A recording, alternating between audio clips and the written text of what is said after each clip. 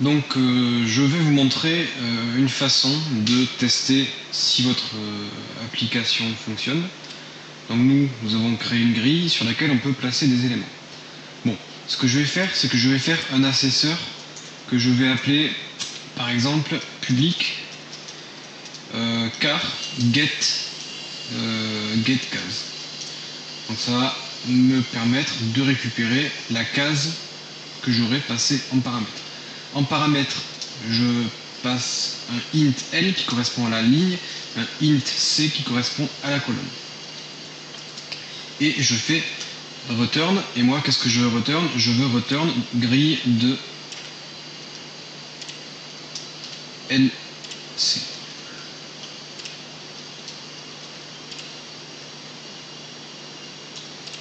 Donc voilà pour ce get euh, case.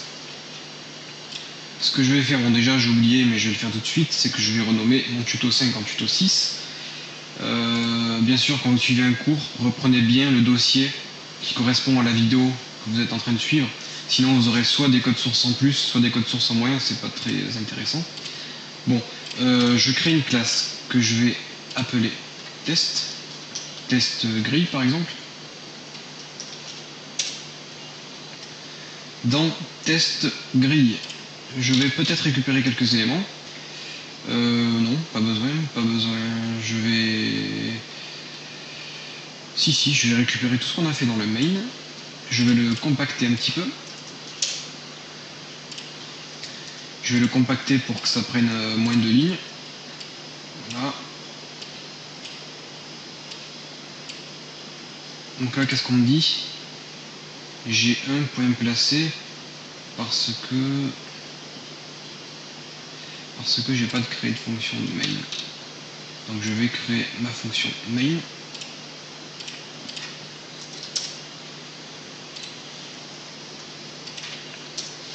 Et voilà. Donc là je lance et j'ai bien ma grille qui s'affiche. Bon, ce que je fais moi, c'est que je vais pas afficher ma grille, donc je vais supprimer tout ce qui correspond à l'affichage. Donc quand je lance, j'ai bien ma grille qui est créée, mes éléments qui sont placés. Par contre, j'ai rien qui s'affiche sous mes yeux.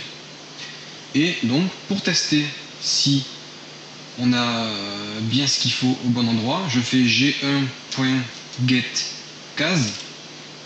Et moi, je veux récupérer la case 2, 4 qui correspond à la case euh, où on a placé notre joueur puisque la case 2, 4, je vous rappelle que c'est la case 3, 5, sauf que ici on enlève 1 à chaque fois. Donc si vous voulez pas d'ambiguïté, je vais modifier ça tout de suite. Et je vais dire moins 1, moins 1 ici, voilà, ok, j'enregistre. Et au moins je peux euh, avoir les mêmes coordonnées que euh, pour mes éléments. Donc normalement le get case ça va me renvoyer euh, ce qui est contenu dans la case 3, 5 donc ça va me renvoyer le caractère J. Donc là ça me renvoie rien du tout. Ça me renvoie rien du tout, donc je fais un système.out.print print tout seul. Voilà, et je vais fermer ma parenthèse ici. Et tout simplement, donc pour faire vos tests, vous écrivez euh, ça, donc on affiche ce qui se trouve ici, et ce qui se trouve ici doit être égal à J. Je lance, et j'ai bien J égale à J. Donc là, j'ai exécuté un test, et je sais que euh, j'ai bien ce qu'il faut au bon endroit. J'ai bien J à l'endroit où je place J. Je peux faire la même chose je vais demander euh, qu'est-ce qui se trouve en position 7, 4. Et en position 7, 4, normalement, il y a un O. Je vais demander qu'est-ce qui se trouve en position 10, 7. En position 10, 7, il se trouve un M. Et je vais demander, par exemple, qu'est-ce qui se trouve en position 3, 3. Et normalement, en 3, 3, il se trouve rien du tout. Donc j'ai bien euh, il faut que je fasse des... Euh, il faut que je fasse des retours à la ligne. Donc je vais en faire. Je vais en faire ici, ici.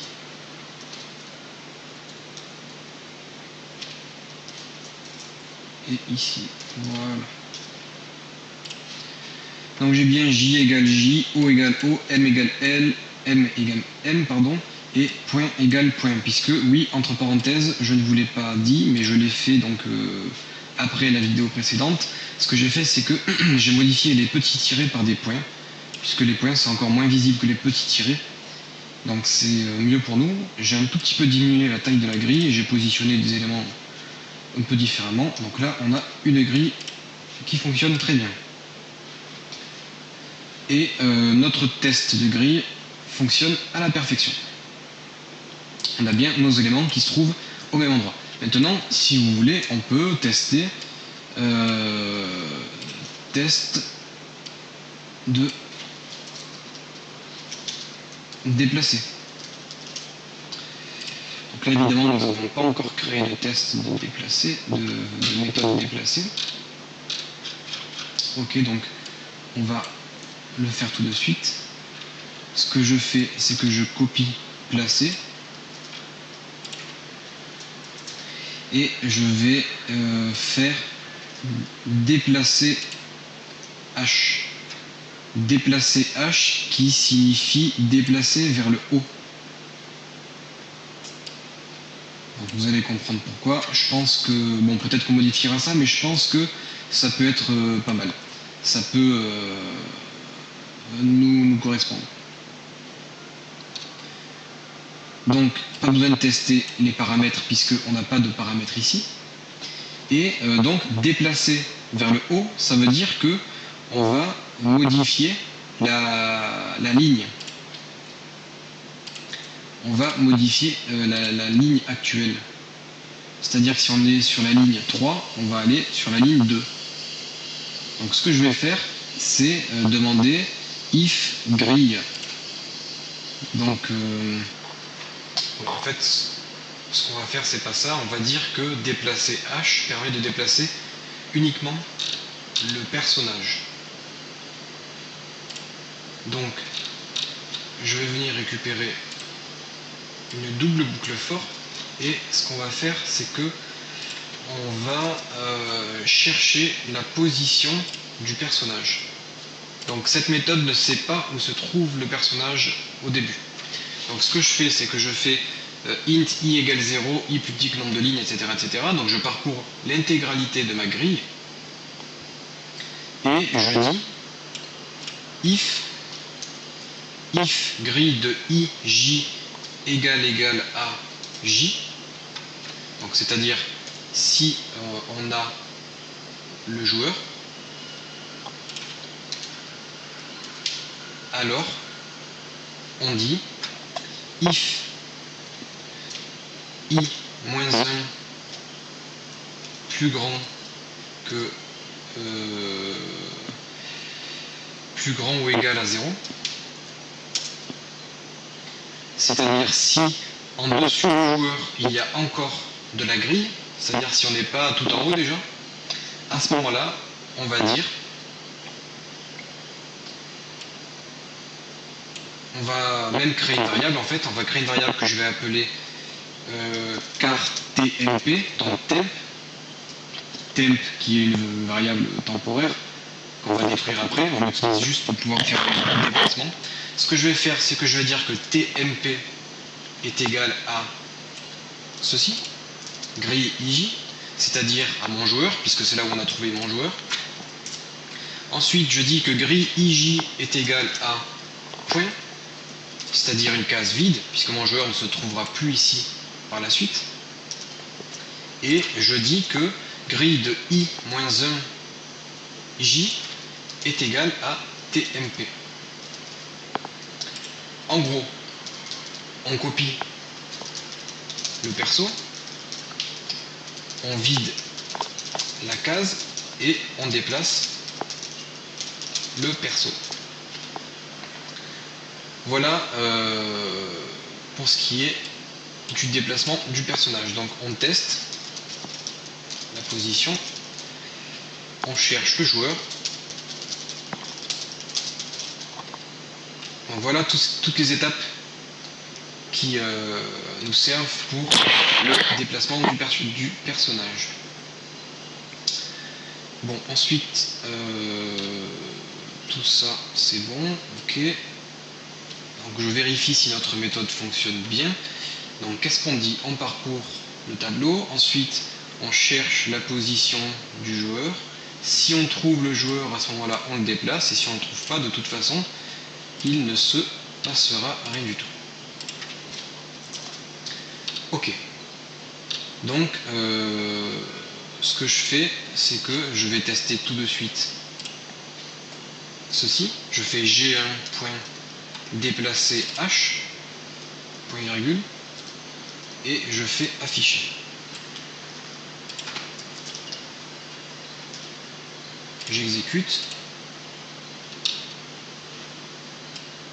Et j'ai bien mon joueur qui est monté d'une case. Il était ici et à la deuxième case, la deuxième, euh, le deuxième affichage, mon joueur se trouve ici. Si je le fais se déplacer plusieurs fois, on teste. mon joueur se trouve en troisième position, en troisième ligne, ensuite en seconde, ensuite en première ligne, et ensuite il reste en première ligne puisqu'il est tout en haut. Donc euh, notre méthode déplacée fonctionne euh, très bien. Alors ce que je vais faire c'est que je vais mettre la vidéo en pause et je vais faire un copier-coller de déplacer H et euh, je vais faire déplacer vers le bas, vers la gauche et vers la droite. On se retrouve dans une seconde. Voilà, donc là j'ai écrit les quatre méthodes de déplacement. Donc je viens de les écrire à l'instant, je ne les ai pas encore testées, donc je ne sais pas si j'ai fait une erreur ou pas, puisque euh, pour chaque méthode, il y a des conditions différentes, donc il faut bien euh, vérifier si quand on descend vers le bas, on n'a pas dépassé le nombre de lignes de la grille, euh, là, c'est pas i-1, c'est i plus 1. Quand on se déplace vers la gauche, il faut vérifier la position au niveau des colonnes et c'est j que l'on va modifier. Donc vous voyez, pour chaque type de déplacement, c'est des choses différentes qu'il faut tester. Donc je ne vous promets pas que ça fonctionne, mais bon, je pense que là, les calculs sont bons. Euh, ensuite, juste, euh, j'ai fait comme ça parce que c'est plus facile à faire. Par contre, c'est pas judicieux de faire un copier-coller quatre fois, comme je l'ai fait ici ce qu'il est préférable de faire, c'est de créer tout simplement une méthode déplacée qui prend en paramètre une direction au bas gauche droite et en fonction de la direction, donc avec des if, eh bien vous appliquez une modification. Donc là j'en ai créé 4 pour que ce soit plus simple, mais c'est pas le plus judicieux. Bon, euh, voilà pour le déplacement. Pour tester si notre fonction de déplacement marche bien, je vais déplacer mon joueur vers le haut. Donc je suis toujours dans la classe test. Et euh, je vais venir tester ici si en position 3, 5, on a bien un point. Puisque rappelez-vous, au début du jeu, on place notre joueur en position 3, 5. On teste s'il y est bien, normalement il y est bien. Ensuite on le déplace vers le haut, du coup notre joueur sera en position 2, 5 normalement et euh, on teste si on a bien un point à l'arrivée. Donc là je lance et on a bien nos tests qui nous donnent un résultat positif, donc notre méthode fonctionne bien. Voilà en gros ce qu'il va falloir faire pour toutes vos classes, toutes vos méthodes, etc. C'est réaliser ce genre de test. Après vous pouvez créer une classe plus complexe qui euh, vous dit s'il y a des erreurs ou pas, etc. Donc là c'est juste visuel, c'est juste pour nous. Et je viens juste de me rendre compte que euh, il y a quelque chose à prendre en compte ici dans nos méthodes de déplacer. C'est euh, on teste la position évidemment, mais on va aussi faire un test donc avec un double E. Le double E permet de tester deux conditions en même temps. Donc si i-1 est plus grand que 0 et puis que euh, blablabla. Donc là, on va donner une seconde condition. Et nous, ce qu'on veut, c'est que euh, grille moins 1 soit égal à point. C'est-à-dire, on, veut que euh, il y ait quelque chose de, différent. Euh, qui est donc du, vide. On ne peut pas marcher sur... Si par exemple on a une maison sur la carte, on ne peut pas se déplacer sur la maison. Même si on est encore sur la grille, on ne peut pas se déplacer sur la maison. Donc là, on va pouvoir se déplacer uniquement si on a un point, c'est-à-dire une zone vide. Donc vous voyez, lorsqu'on programme, il y a toujours des contrôles qui doivent être faits en permanence pour être sûr qu'on se trouve dans une situation probable et pas dans quelque chose d'impossible. Bon, euh, tout ceci, je vais le faire aussi pour les, pour les autres méthodes de déplacement. Donc là, on teste. Non, là je me suis trompé.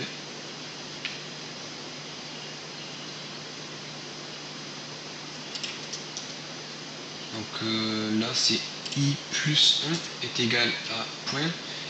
Ici c'est j moins 1. Donc j moins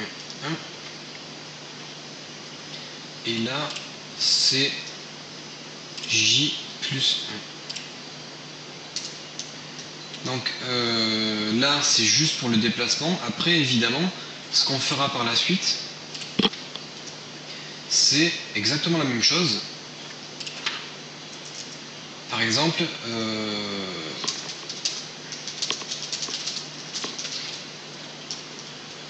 on va faire ceci. On va dire si on se déplace sur la grille, mais que c'est pas un point, mais c'est un monstre qu'il y a, à ce moment-là, on se déplace quand même.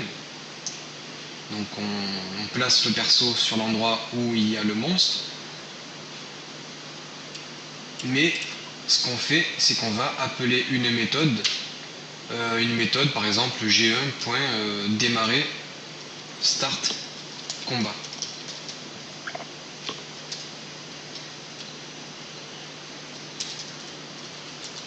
Donc si on marche sur un monstre, à ce moment-là, un combat démarre et euh, on va se battre contre le monstre sur lequel on s'est déplacé. Donc ça, je le mets en commentaire parce que de toute façon, ça ne marchera pas puisque on n'a pas encore créé de méthode de combat. Ça viendra par la suite. Et ce que je vous propose de faire maintenant, déjà, c'est de mettre tout ça en commentaire. Voilà. Donc on a bien tout qui fonctionne. Euh, notre personnage est maintenant capable de se déplacer comme on peut le voir dans cet exemple. Et dans la prochaine euh, partie, on verra comment choisir nous-mêmes dans quel sens on veut se déplacer donc avec notre personnage.